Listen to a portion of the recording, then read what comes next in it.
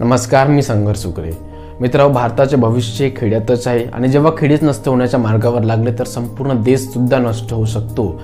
हे महात्मा गांधीजींनी संबोधलेले वाक्य कितपत खरं आहे आपण यावर विचार करायला पाहिजे. मित्र हो आपल्या मनामध्ये नेहमी प्रश्न येत असतात की काय खेड्यांमध्ये सुद्धा आपण सन्मानाचे जीवन जगू शकतो काही खेड्यांमध्ये सुद्धा आपण आनंद लुटू शकतो. तर या सगळ्या प्रश्नांचे उत्तर आहे हो. एका आदर्श गावामध्ये आपण सगळ्याच आपला शोक पूर्ण करू शकतो जो आपण शहरामध्ये करू शकतो. मित्र हो भारत जेव्हा जेव्हा एकजूट झाला तेव्हा तेव्हा भारताने सगळ्या संकटांना मात देत भारत शिखरापर्यंत पोहोचला. आता कोविडच्या प्रकरणी भारतात विश्वस्तरीय महामारी आली तरी संपूर्ण भारत जेव्हा एक झाला तेव्हा कोविडला सुद्धा हारावा लागला. आणि असाधारण ते साधारण करण्याची शक्ती भारतात खूप आहे आणि भारत असेच नवनवीन कामं करत जाते.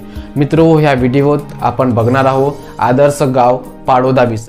कशा प्रकारे हा गाव एकत्रित आला आणि कशा प्रकारे संपूर्ण संकटांना मात देत महाराष्ट्रातल्या अठ्ठावीस हजार ग्रामपंचायतींपैकी कशा प्रकारे हा गाव प्रथम क्रमांकावर आला याविषयी आज आपण बघणार आहोत. मित्रा हो इतर ग्रामपंचायतीमध्ये निवडणूक आल्या की दंगली होतात पैशाचा वाया होतो. पण पाडोदामध्ये कसल्याही प्रकारच्या दंगली होत नाही आणि कसल्याही प्रकारचा पैसा वाया होत नाही. एक रुपया सुद्धा नष्ट न करता या गावातले उमेदवार निवडून येतात आणि चांगल्या प्रकारे आपल्या गावाचा विकास करतात.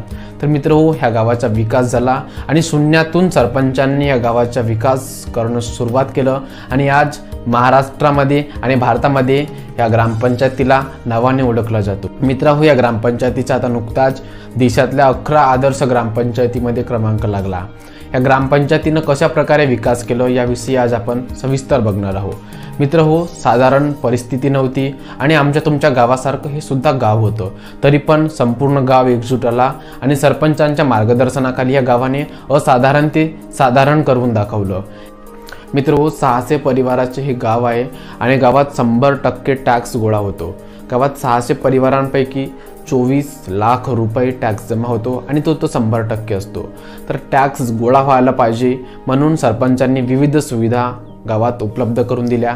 गावात एक मोफत पिठाची गिरणी उपलब्ध करून दिली जे व्यक्ती टॅक्स शंभर टक्के भरतात. त्यांच्यासाठी ते पिठाची गिरणी मोफत असते. आणि जर आपल्याला पिठाची गिरणी मोफत असल्यामुळे पीठ जर आपल्याला मोफत मिळत असेल तर संपूर्ण गाव टॅक्स देते. आणि सरपंचांनी टॅक्सच्याच मार्फत वेगळे वेगळे विकासाचे कामं केले आहे. ज्यातून गावाचा विकास करण्यात येतो. सरपंचांनी शंभर टक्के टॅक्स गोळा व्हायला पाहिजे. अशा प्रकारे नवीन नवीन योजना गावात निर्माण आल्या.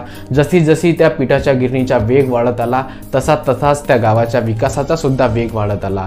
तर सरपंचांनी गावामध्ये त्याच विकास निधीतून गावामध्ये रस्त्यांना फ्लेवर ब्लॉक्स लावले. सगळे रस्ते चमचमीत आहेत. कसल्याही प्रकारची अडचण नाही मित्र हो सगळ्या ठिकाणी लिहिलं असतं की येथे थुंकू नका येथे थुंकू नका. परंतु मग थुंका व कुठं हा प्रश्न आपल्यावर निर्माण होतो. पण ह्या सरपंचांनी येतं थुंका अशी एक योजना निर्माण केली आणि प्रत्येक शंभर मीटरमध्ये त्यांनी बेशिंग लावलं आणि येतं थुंका ही सुविधा त्यांनी लोकांकरिता उपलब्ध करून दिली.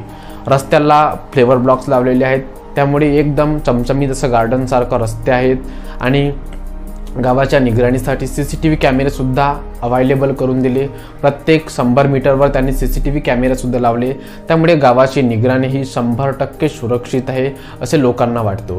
तर हो पिठाच्या गिरणीनं जसं जसं वेग पकडलं तसं तसं गावाच्या विकासाने सुद्धा वेग पकडतो. गावामध्ये पहिली ते सातवी एक डिजिटल शाळा आहे आणि त्या शाळेचा विकास खूप वरच्या स्तरावर आहे.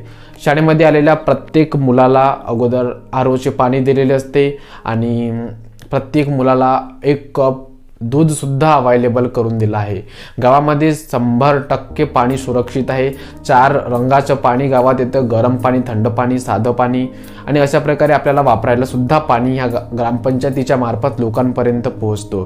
गावामध्ये आरोसुद्धा लावलेले आहेत ज्यामुळे जे लोक शंभर टक्के टॅक्स देतात त्यांच्यासाठी वीस लिटर पाणी मोफत ग्रामपंचायत आरोचं पाणी देते. गावात स्मशानभूमीसुद्धा आहे. पण स्मशानभूमीला जेव्हा आपण बघला तर आपण कुठच्या गार्डनमध्ये आलो असेच आपल्याला वाटायला हवं.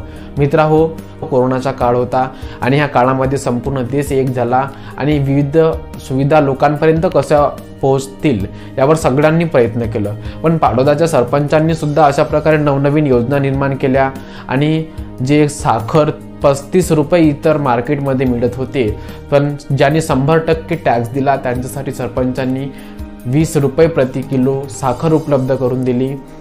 आणि ज्या स्त्रिया गावाच्या बाहेर कामाला जात होत्या पा पायी पायी जात होत्या त्या सगळ्या स्त्रियांना सरपंचांनी त्याच त्याच पैशातून सायकलसुद्धा प्रोव्हाइड करून दिली. मित्र हो महाराष्ट्र सरकारने स्मार्ट विलेज ही योजना आखली. त्याच्यात महाराष्ट्रातून प्रथम पाडोदाचा क्रमांक लागला आणि पन्नास लाख रुपयांचं बक्षीस मिळालं. मित्र हो वेगळे वेगळे नेते ग्राम ह्या ग्रामपंचायतीला भेट द्यायला गाव शोधत शोधत येतात आणि विकास निधी देऊनच जातात असं सरपंचाचे म्हणणं आहे. कुणीही ह्या गावात आल्यावर मोकळ्या हाताने जात नाही असे सरपंच सांगत असतात. मित्र हो, आपण सुद्धा विचार करायला पाहिजे. हा व्हिडिओ ज्या सरपंचांच्या पर्यंत जातो त्यांनी सुद्धा विचार करायला पाहिजे की आपला गाव सुद्धा पाडोदासारखं होऊ शकते. आपल्याला सुद्धा पाडोदासारखं सन्मान भेटू शकते. एकजूट होण्याची गरज आहे. आणि जेव्हापर्यंत आपण एकजूट होणार नाही तेव्हापर्यंत आपण असाधारण कामे साधारण करू शकणार नाही. आपल्याला आपण बहाणेबाजी मारत असतो की विरोधक आपल्याला काम करू देत नाही. पण जेव्हा आपल्या विचारांमध्ये ताकद असली तर आपण कोणत्याही प्रश्नांना न घाबरता आपण जर सामोर गेला तर पाळोदासारखं आपलंसुद्धा ग्रामपंचायत होऊ शकते. आपण याचा विचार मित्रांनो व्हिडिओ आवडला असेल तर लाईक करा कमेंट करा आणि सबस्क्राईब करायला विसरू नका. धन्यवाद